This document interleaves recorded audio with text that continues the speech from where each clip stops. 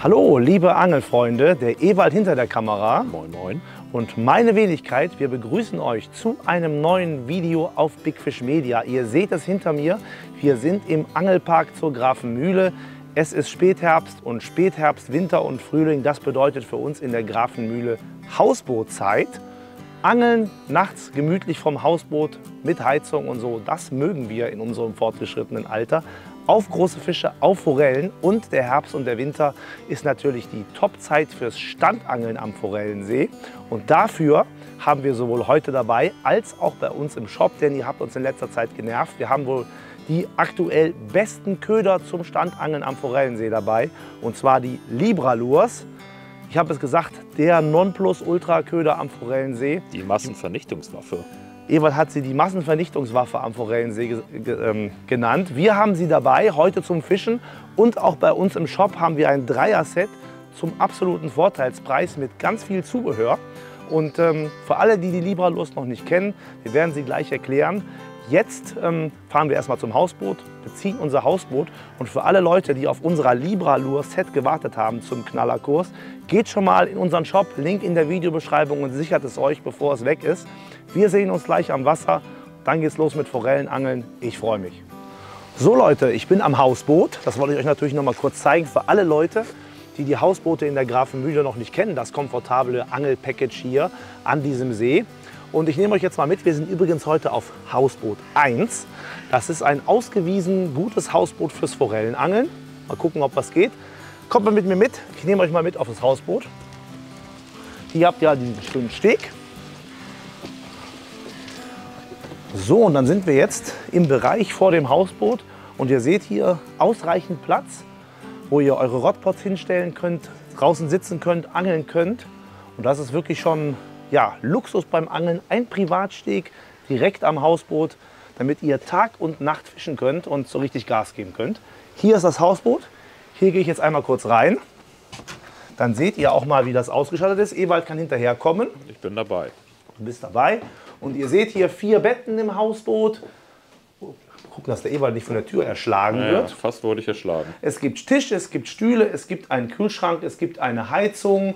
Ich habe es gesagt, Licht, Strom, ihr könnt hier problemlos euer Handy laden und alles. Also ihr müsst hier in der Grafenmühle, wenn ihr so ein Hausboot bucht, auf keinen Komfort verzichten. Es ist schön trocken, es ist warm und das ist genau das, was der Ewald und ich in der kalten Jahreszeit besonders zu schätzen wissen. Denn so bei Minusgraden draußen hocken, ich weiß nicht, wir, Ewald. schon, hatten wir schon oft genug gehabt. Das haben wir früher häufig gemacht und mittlerweile wissen wir den Luxus der Hausboote hier in der Grafenmühle auf jeden Fall zu schätzen. Und äh, jetzt habt ihr die Hausboote gesehen, jetzt können wir unser Angelgerät aufs Hausboot schaffen und dann mal langsam loslegen. Denn im Winter wird es früh dunkel und wir möchten die Zeit jetzt noch hier noch nutzen, um alles parat zu kriegen.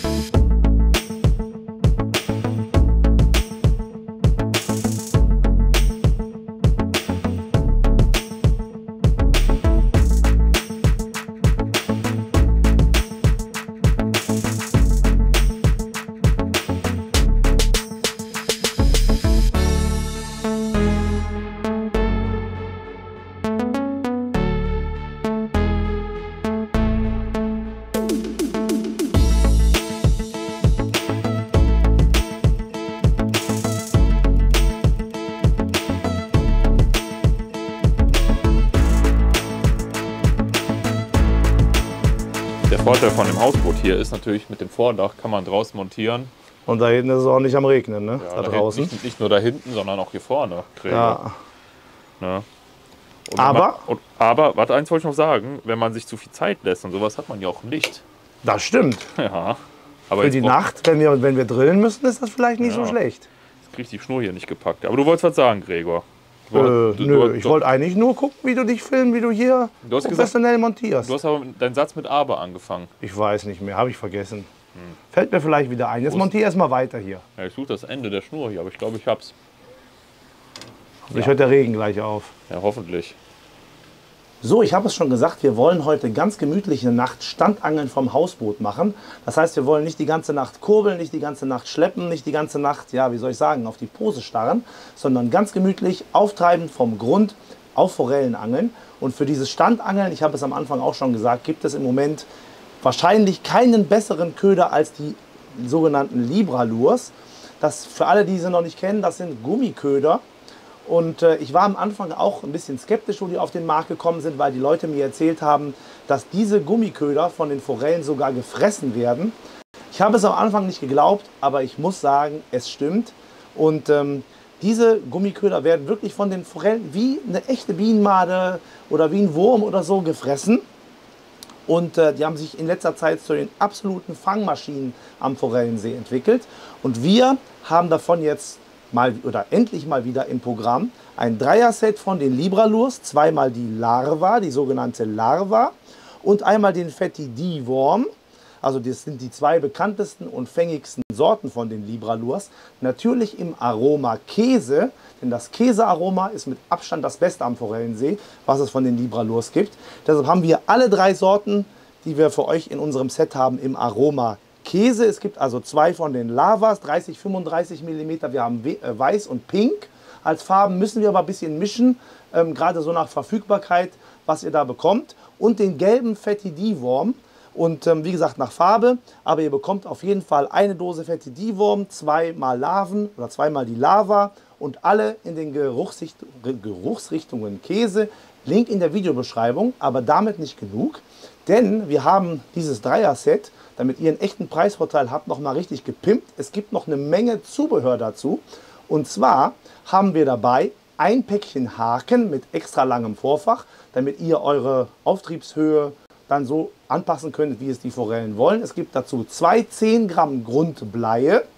Es gibt noch dazu ein Päckchen Bleischrot oder ein Sortiment Bleischrote. Denn ihr müsst ja irgendwie die Auftriebshöhe von den Ködern festlegen und das könnt ihr am besten mit einem Bleischrot machen, was ihr aus Vorfach knippt. Davon haben wir ein Sortiment dabei. Und natürlich noch zwei Dreifachwirbel könnt ihr ja für die Montage hier nutzen oder auch für andere Montagen, die ihr lustig seid. Und es gibt noch dabei ein Sortiment Gummistopper, damit ihr ja auch eure Montage besser bauen könnt. Und das Ganze in unserem Libra Lure Vorteilsset, wirklich zu einem günstigen Kurs. Schaut mal rein, Link in der Videobeschreibung. Und jetzt müssen wir mal die Köder dran machen und äh, dann will ich endlich mal loslegen mit Angeln. Ewald. Gregor. Welchen Köder möchtest du haben hier? Den Fetti D-Worm in Gelb hier aus unserem Set? Die Larve in Weiß oder die Larve in Pink? Ich glaube, ich nehme die, die mich so vorne hier anlacht. Und das ist Pink, ne? Ja, ich wollte, ja, ja egal. komm hier. Gib mir den da. Du bist auch das Unicorn. Du bist halt Unicorn. Und dann mache ich mir Larve Weiß drauf. Weiß. Den Fetti D-Worm, den gelben, den halten wir uns mal in der Hinterhand. Ich mache die Larve in Weiß drauf. Und also ich mache jetzt einmal auf. Boah, stinkt so ich finde, pervers. Ich finde, nicht pervers, es stinkt irgendwie gleichzeitig geil, aber irgendwie Ja, auch geil. cool. Also es, es, es, stinkt, es stinkt nach guten Fängen. Das ist wirklich so ein intensives Käsearoma. es stinkt geil, aber es stinkt gleichzeitig. Also ich lass, lass die Dose zu Hause nicht auslaufen. Ich rate es euch. Das gibt Ärger. Der Vorteil natürlich bei diesen, bei diesen Libralurs ist, im Vergleich zu Teig oder so, wenn ihr mit, oder mit Bienenmade auftreibend auf Stand angelt, Teig löst sich mit der Zeit ab, Bienenmade wird abgefressen mit der Zeit von Kleinfischen, von Weißfischen. Libralur, der bleibt immer dran, den müsst ihr nicht kontrollieren, müsst ihr erst ran, wenn ein Fisch dran wirklich gebissen hat. Und das finde ich ist auch wirklich ein super Vorteil, dass man den Köder nicht erneuern muss, einfach weiter angeln, bis der Fisch beißt und keine nervigen Köderkontrollen. Eigentlich wollte ich die Montage erklären, aber es schüttet Krass. Wie aus Eimern. Machen wir erst noch mal eine kurze Pause, Ja, glaube müssen wir eine Drehpause machen hier. ich. Wahnsinn. Eigentlich sollte es nicht so viel regnen heute. Nee, ist ja ein richtiger Monsun hier. Ja. Können wir froh sein, dass wir hier nicht nach draußen stehen müssen. Nee.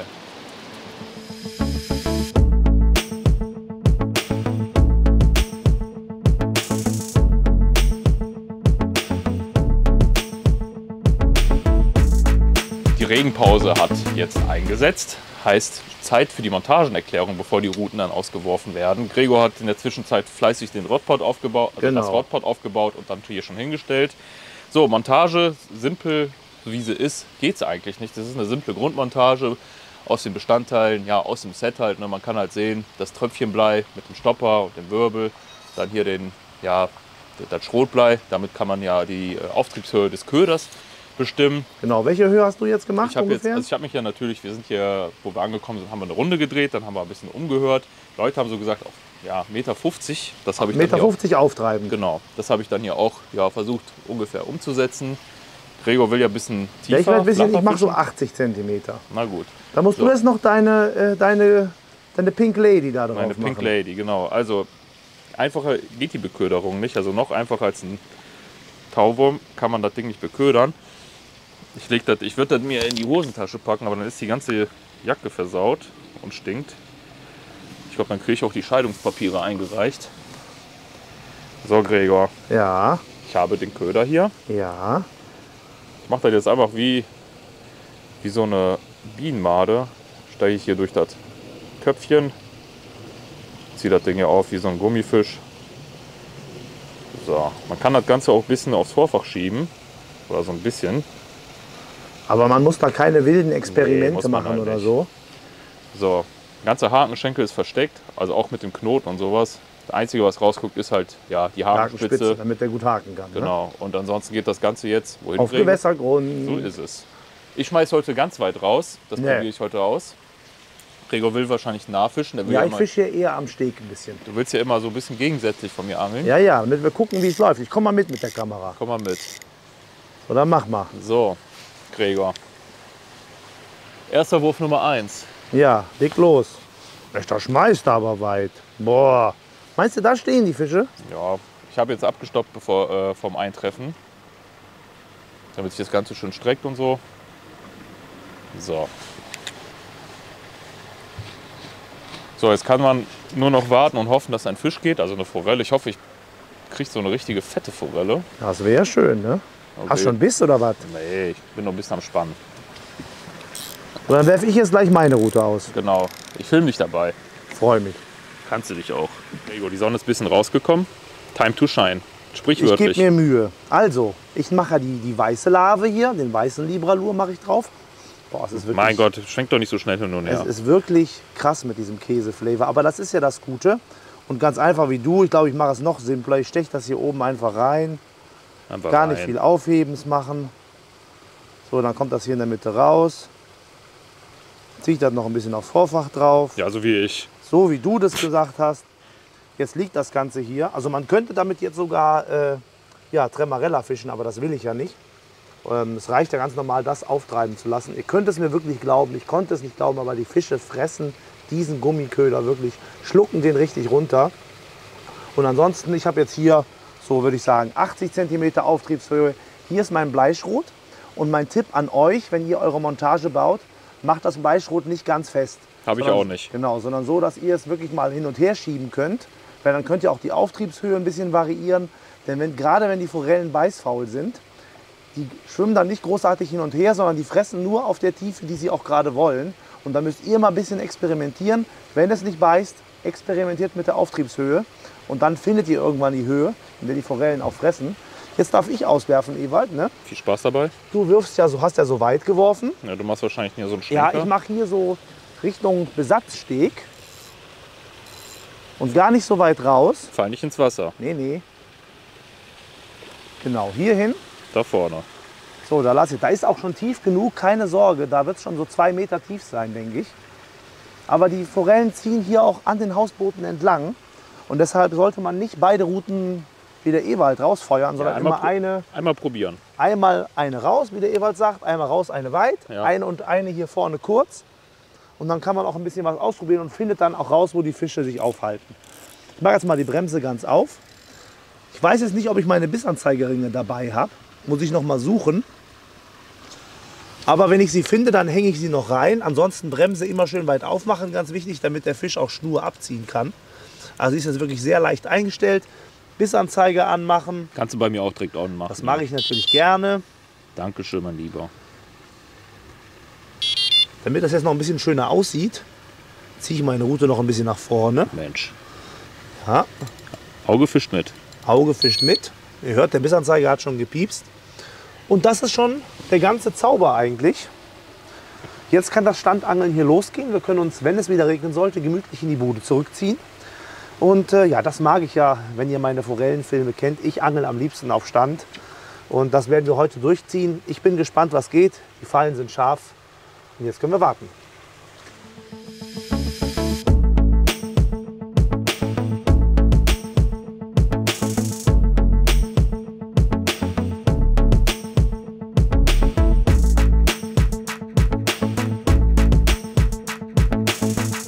Eva, was los? Willst du nach Hause? Ja, nein, Quatsch.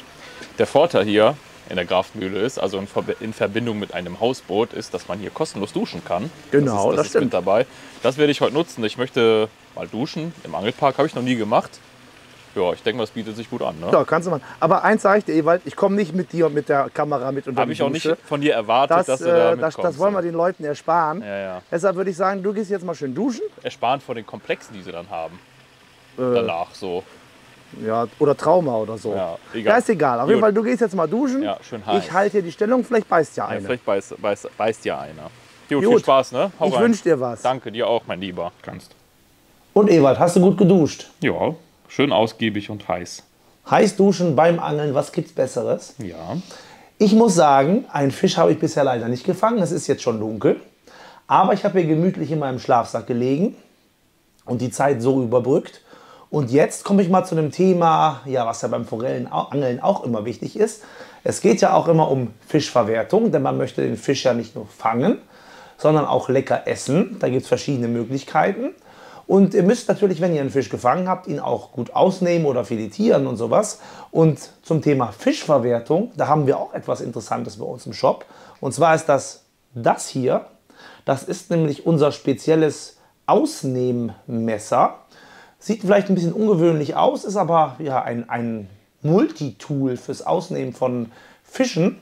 Damit könnt ihr den aufschneiden und dann die, die, den Bauch aufschneiden und das alles rausholen. Und das hier ist ein, ein Fischschupper. Also ihr habt hier ein Messer zum Ausnehmen und ein Fischschupper integriert in einem Tool. Und dazu haben wir noch eine Grätenzange aus Edelstahl. Denn wenn ihr euch ein, ein Filet schneidet von der Lachsforelle, kennt ihr ja, dann müsst ihr immer noch die Gräten ein bisschen raustupfen. Das habe ich sonst immer mit der Kombizange gemacht. Das jetzt aber ist jetzt nicht mehr nötig mit der Zange, denn wir haben eine Grätenzupfzange dabei. Und es gibt noch einen Haken, wo ihr dann euer Messer hier so ganz schön zu Hause an der Wand dekorativ aufhängen könnt. Und das ganze Set haben wir auch bei uns im Shop. Wenn wir heute Nacht einen Fisch fangen, dann zeige ich euch morgen nochmal, wie das funktioniert. Und bis dahin könnt ihr das Ausnehmmesser-Set wirklich auch zu einem günstigen Kurs, wie ihr das bei uns gewohnt seid von Absolut Angeln, könnt ihr das mal in, in unserem Shop auschecken und Link dazu auch in der Videobeschreibung. Und ich hoffe, dass ich das dann hier morgen auch mal zum Einsatz bringen kann. So eine schöne Lachsforelle oder Goldforelle. Das wäre es doch, Ewald. Ja, ich hätte nichts dagegen. Du Ne? willst ja immer eher die kleinen haben. Hier in der Grafenmühle gibt es häufiger größere Lachsforellen. Das mag ich ja lieber, so schön im Backofen beizen und so, das ist meins. Und dafür ist das Ding da. Ich habe es mit und ich hoffe, dass ich es euch zeigen kann. Jetzt machen wir uns erstmal gemütlich und hoffen, dass hier nachher was gehen wird. Hallo, liebe Leute. Mitten in der Nacht. Ja, ich bis hier. Ewald hat die Route umgelegt gehabt, habe ich Ja, ich gesehen. habe auch jetzt mal Nah ans Hausboot. Ich glaube, der ist mir unter das Hausboot gezogen, aber jetzt macht er nichts mehr. Da müssen wir Kontakt aufnehmen. Ich denke ja. So. Und? Hängt? Hängt was? Ja. Oh ja. Oh ja, eine Forelle, die erste Forelle. Erste Forelle, eine kleine. Ich hab das gedacht, da ist nichts, aber. Ah, Mensch. Mensch, das ist ein richtiger Spritzer hier. Petri. Geil. Jawohl. Erste, erste Standforelle verhaftet. Ich habe die richtig fressen lassen. Ja, ja, unbewusst. Und äh, ja, Hängt. hast du, hast du recht gehabt mit Auf die deiner. Pink Lady. Ja, hast aber recht gehabt, dass sie die fressen wie normal Ja, Naturköder. ich guck mal, ich guck mal, guck mal, ob man da reinfilmen kann in den Kescher. Ja, Da geht sieht man jetzt nicht. Ah, machen wir erstmal den Fisch parat. Genau. Super. So, da ist die erste Forelle. Keine große, aber man kann sehen hier. Da ist der Köder. gefressen, Richtig gefressen. Den pinkfarbenen Libralur. Tja, Also gucken. kann es losgehen. Du kannst losgehen, mal gucken, was, ob die Größe noch steigbar ist. Ja, das wäre natürlich nicht schlecht, aber der erste Fisch ist verhaftet. So ist es. Köder ist jetzt raus aus dem Fisch. Vielleicht kann man ja sehen, hier Köder ist auch intakt. Ne? Ja, muss wir nochmal noch- neu auf dem Haken machen. Muss ich jetzt nochmal neu ein bisschen richten, ein bisschen hier frisch aufziehen und so was. Und dann kann das Ganze wieder raus. Aber das Schöne ist, jetzt wenn man jetzt eine Made hätte oder Teig, müsste man ganz neu machen. Komplett neu. Ganz neu kneten. Hier ist einfach nur mal kurz korrigieren So, und dann weiter angeln. genau. So Herrlich. das nochmal wieder raus. Stinkt Pink hat's gebracht, Käse hat's gebracht, wieder raus damit. stinkt auch nach Käse noch. So, wieder nah ans Hausboot mache ich das Ganze. Bist ein bisschen weg von dem Weit, ne? Na, ich habe es jetzt erst getestet, ne? Habe ich ja gesagt, man muss es erst testen. Und wenn es dann nicht klappt, dann muss man was anderes ausprobieren. Und da musst du erstmal entheddern, glaube ich. Genau, ja, ein bisschen ist nicht viel. So, ich werde das Ganze wieder nah ans Hausboot legen. Nehme ich gleich die Route und. So, ich glaube, ich habe das jetzt. Ja, Aber du hast jetzt auch hoch. Das war jetzt die, die hoch aufgetrieben ist. Ja Route, 1,50 ne? Meter, 1,50 Meter, ne? 1,50 Meter hoch aufgetrieben. So, Ich mach hatte das- jetzt gar nichts, aber ich bin ja auch wie gesagt nur 80 Zentimeter. Ja, Vielleicht muss ich das mal ändern. mach das hier, dass ich direkt hier runterlasse. Direkt am Steg jetzt. Ja, ja. Siehst du, kannst ja ruhig. So. Ah. Also ich liege ja noch ein bisschen weiter weg, aber jetzt willst du es mit dem Steg so richtig wissen. So würde ich es wissen.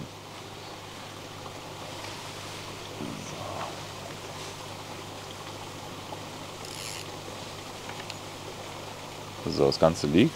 Das gefällt mir.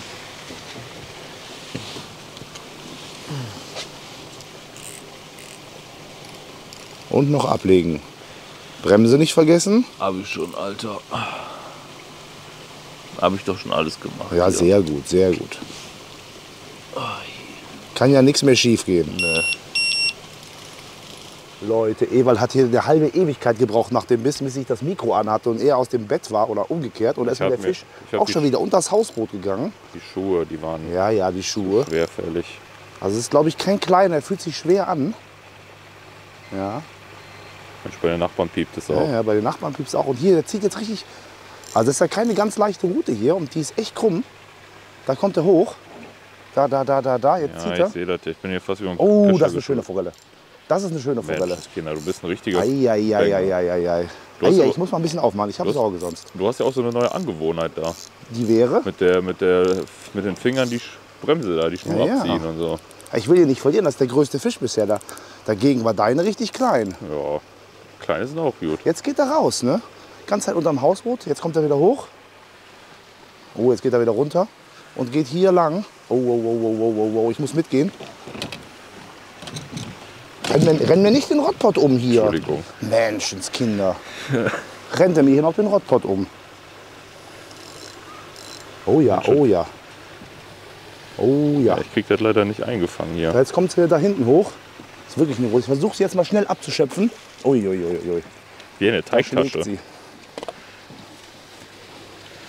Gregor. Oh, scheiße, Warum gibt gekriegt. Alter. Mit der langen Rute. Wie ein Ich Klappflieger. muss ein bisschen, bleib still, ich muss ein bisschen mehr Sch- Schnur ziehen. Rennst mich den Rottpott in die, in die Parade. So, jetzt kriege ich ihn aber.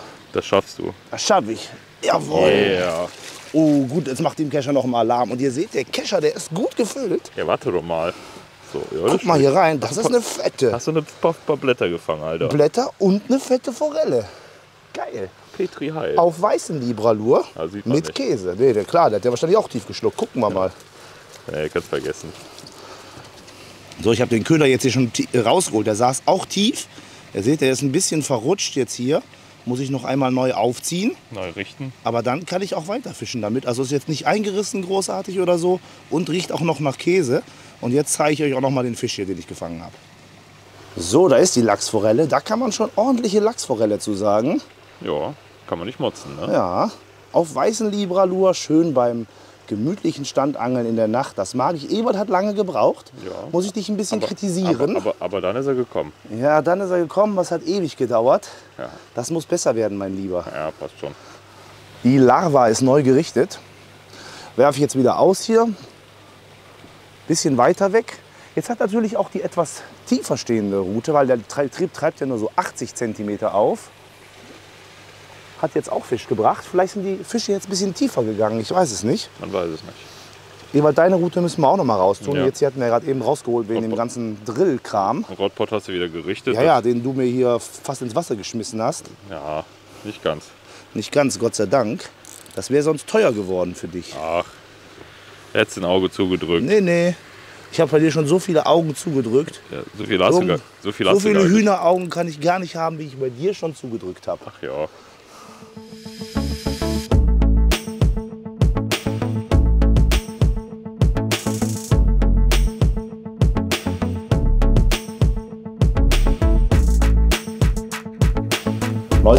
Wieder im Hausboot, schön warm. Die Routen liegen draußen wieder.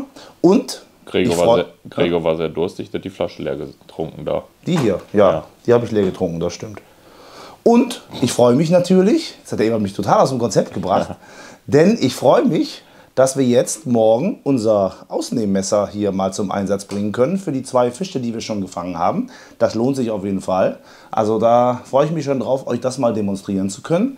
Jetzt legen wir uns erstmal ab und Ewald ist bestimmt wieder schnell eingeschlafen, so eine Penmarie wie das ist. Ah ja, Und dann gucken wir mal. Wir haben ja noch Zeit. Es wird ja noch lange nicht hell. Vielleicht geht ja noch einer, aber wir haben schon gut gefangen. So kann es weitergehen. liebe Leute, der Gregor hat euch was zu beichten.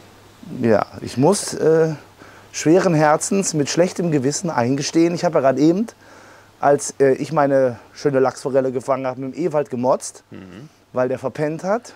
Ja, nicht verpennt, ich habe zu lange gebraucht. Ja, und jetzt ist mir das Gleiche passiert. Ja, was für ein Malheur. Ich ein richtiges Malheur. Das hab- ist, wenn man so die Klappe so weit ja, aufreißt. ich habe einen Fisch gefangen. er hat einen Fisch gefangen und zwar einen schönen. Und ich habe es erst so richtig realisiert, als der Fisch schon ja, Ja. so gut wie im Kescher war. Ja. Deshalb äh, ja, muss ich hier mea culpa die Schuld auf mich nehmen. ja. Und Du, äh, kannst, ja, du kannst jetzt die Kamera halten. dann ich kann jetzt wenigstens einmal die Kamera halten und dann kannst du mal deine schöne Lachsforelle hier zeigen. Genau, machen wir so. So, da ist die fette Lachsforelle. Ja, eine richtige. Dickes Petri, mein Lieber. Ja, dickes Dank, mein Lieber. Ja, Ja, habe ich gut verpennt, den Fisch. schöne schlanke Lachsforelle und so, ne? Perfekte Ja, Größe für ich den würde Ofen. würd sagen, so wie die anderen. Ne? Vielleicht ein bisschen kleiner. Bisschen kleiner, ja. Aber Ja. damit gebe ich mich zufrieden. Du weißt ja, klein habe ich lieber. Ja, aber das ist jetzt keine kleine Portionsforelle, natürlich auf nicht. keinen Fall. Ne? Natürlich nicht. Aber wunderbar. Ja, wunderbar. Auf werd- Pink. Pink. Ich werde satt, das ist die Hauptsache.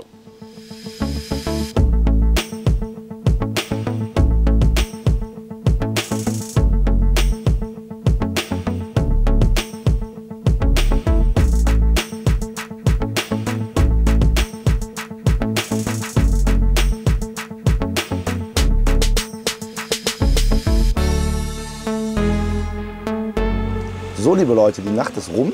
Ich habe noch eine Portionsforelle gehabt, aber da habe ich den Ewald jetzt nicht bemüht, da musste er nicht für aufstehen. Jawohl. Also, wir haben ganz gut gefangen mit unseren Libralurs, wie eigentlich immer, weil das wirklich ein super Köder ist. Die Fatty D-Worms haben wir uns in der Hinterhand gehalten, haben wir heute Nacht nicht gefischt. Wir haben alles auf die Lavas gefangen, in weiß und in pink und mit Käse natürlich, das beste Flavor. Und äh, ja, wie immer wirklich sehr erfolgreich. Ich habe es ja schon gesagt, wir haben das Set zum absoluten Vorteilspreis mit dem ganzen Zubehör bei uns im, im Shop drin. Könnt ihr mal draufgehen, Link in der Videobeschreibung. Wenn ihr das bei euch beim Angelladen aber kaufen möchtet und der hat das nicht, der kann Libralurs über Paladin bestellen. Also Paladin, die Firma Paladin beliefert den Fachhandel mit Libralurs und da kann euer Fachhändler sie dann für euch besorgen, damit ihr damit fischen könnt. Und ich würde sagen, im nächsten Schritt kann ich jetzt noch mal äh, ja, unser Ausnehmmesser zum Einsatz bringen. Wir packen jetzt hier erstmal alles soweit schon mal zusammen. Und dann werde ich euch noch mal zeigen, wie unser Ausnehmmesser funktioniert. Hinten am Schlachtplatz in der Grafenmühle. Denn das ist das Schöne. Hier könnt ihr auch eure Fische ausnehmen, müsst ihr nicht mit nach Hause nehmen und da die Küche dreckig machen. Das geht hier am Schlachtplatz und das mache ich gleich noch. Jetzt bin ich hier am Schlachtplatz in der Grafenmühle. Und ihr seht es hier, Schlachtplatz mit fließend Wasser. Ich habe hier eine von den größeren Lachsforellen und das Ausnehmmesser bei uns aus dem Shop. Übrigens, ich habe es gesagt, das ist günstig, aber das ganze Set mit der Gretenzange und dem Halter gibt es für unter einen Zehner. Die Zange brauchen wir heute nicht, weil ich möchte den Fisch nicht filetieren, sondern nur ausnehmen. Und deshalb nur das Messer hier heute. So, dann werde ich das einmal hier aufschneiden. Ja, unten ist diese scharfe Klinge, damit könnt ihr hier die durchschneiden. Einmal die Kiemen, ich mache es immer zweimal. Also bei, bei so einem größeren Fisch ein bisschen schwieriger. So, und dann kann ich hier hinten mit dem Messer einfach reingehen und schneide den Fisch einfach problemlos auf. So, jetzt kann ich das Messer aus der Hand legen. Ich klappe den Fisch jetzt gleich auf, hole die ganzen Gedärme raus und dann zeige ich euch nochmal, wofür hier dieses Teil dabei ist, also dieses geriffelte Oberteil dafür da ist. Denn das hat eigentlich zwei Funktionen. So, ich habe jetzt die Gedärme oder die Innereien größtenteils entfernt. Und jetzt mein Messer hier, das geriffelte hier, das kann man entweder als Fischschupper benutzen oder auch um diese Niere hier rauszuholen. Das mache ich jetzt mal. Zeige ich euch nochmal ganz fix.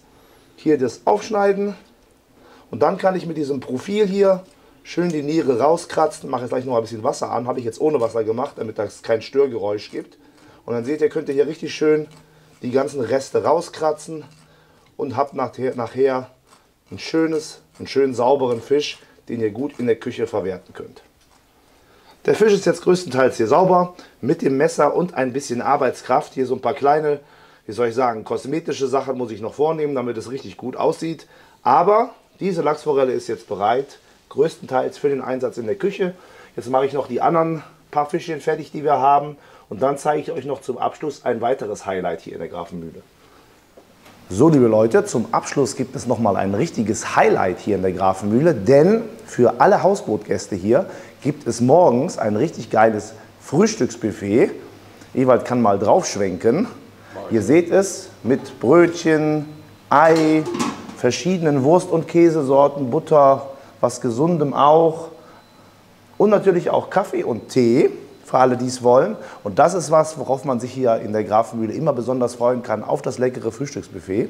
Und ich würde sagen, das werden wir uns jetzt gleich mal schmecken lassen und machen uns danach auf den Nachhauseweg. Wir hoffen, dass ihr Spaß hattet mit unserem Video, wünschen euch viel Spaß am Wasser und natürlich viel Petri Heil. Macht es gut. Bis zum nächsten Mal. Ciao, ciao.